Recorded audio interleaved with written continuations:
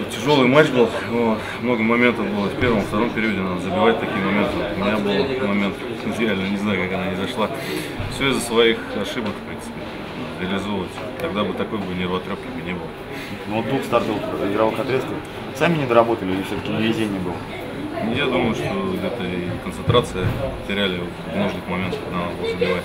Вот, и невезение. Надо готовиться. Ваша передача на Лисина, это была целенаправленная или просто на пятак выводили? Ну, я, в принципе, думал, что там кто-то есть, вот, надеялся, по крайней мере, вот, и делал прострел, вот, в принципе, хорошо получилось. То есть наигрываете такие комбинации на тренировках? Ну, иногда, да. Как игралось в день рождения? Это тяжелее? Да нет, в принципе, хотелось очень ну, классно сыграть, в принципе, такой день. вот. Но я рад, что команда выиграла, как бы, это самое, это самое главное. Возвращение Игоря Григоренко сегодня состоялось. Это как-то добавило команде уверенности? Да, Игорь, он капитан, в принципе, как бы такой хороший, позитивный человек, который ведет за собой команду. Нам сейчас нужны такие люди. Он настоящий человек, вот такой мужик.